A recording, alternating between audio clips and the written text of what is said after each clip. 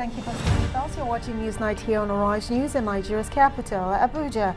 Well, days after the demolition of Divine Wounds of Jesus Orphanage in Kubwa district of the Federal Capital Territory, of Abuja, the plight of more than 100 children has been of interest. Well, as Arise uh, correspondent Folake Adesuba reports, the orphans are now housed in a makeshift accommodation while a rescue operation is in progress by different groups.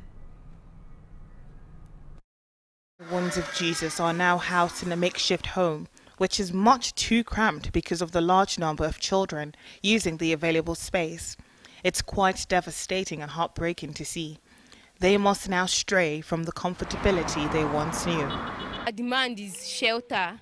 Nigerians should provide shelter for us. We want our home back, Abby. Yes. We want our home back. We want our comfortability back. We're, we're, we're okay before they came to take our home away. We want our place of habitation back because we are not animals, we are Nigerians, we are human beings, so we deserve a life, we deserve a home. This is all that is left of their once vibrant and happy 3,900 square meters compound, which housed over 150 of them.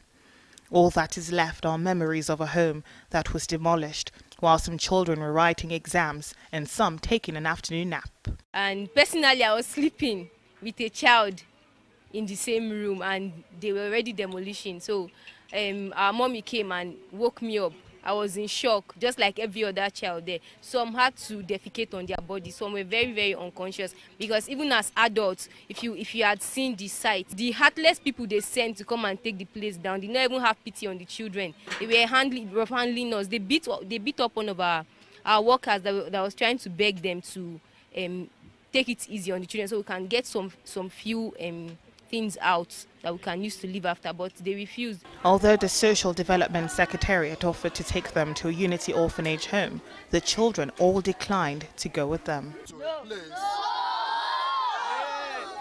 Here that there are children vulnerable with no place, definitely Social Development Secretariat do not need anybody's permission to come in and see what is the actual position because should anything happen to them, we are the government arm that all the international community will come to ask why this and why didn't we intervene. In a twist of fate, just days before the demolition, they were rejoicing over a brand new library donated by Miss Tourism Nigeria World through her Motivating African Youths Foundation. Thank you for watching for these children and I promise to always come back to give and give myself my time. I see you're happy. So if you go to the library, what book will you read? English textbook. What? Uh, what's your best subject? Teaching them is a very wonderful thing. They are good children, they learn easily, they understand whatever you are teaching them. We have a comfortable place to be able to read. We pay more attention to our upcoming exams. Uh, you know, they usually say if you want to hide something from a black man, put it in a book. And I'm sure we're going to change that narrative. And so I said to myself, how about giving them a library? And I don't know if you noticed when we are walking into the library, you see the little artwork there, which states that leaders are readers.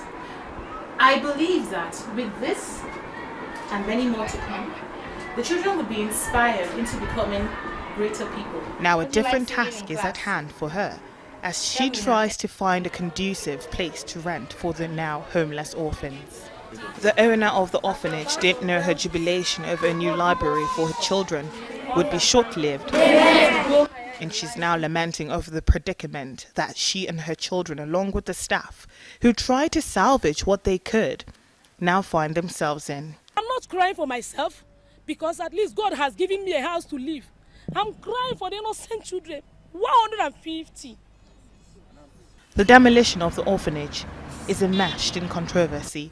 The land on which the buildings were constructed has been a subject of dispute and litigation between Ezemoka and her brother-in-law, Godifo Ezegwel.